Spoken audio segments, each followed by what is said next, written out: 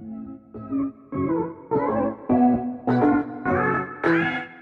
afternoon everyone! For today's video, gagawa po ako ng ginataang suso or yung cornmeals.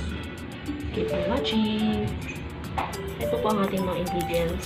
Meron akong gabi na sinap ko na, tanglad, chopped onions, spring onions, garlic, ginger, at sibuyas. Siyempre, di mawawala din ang ating gata.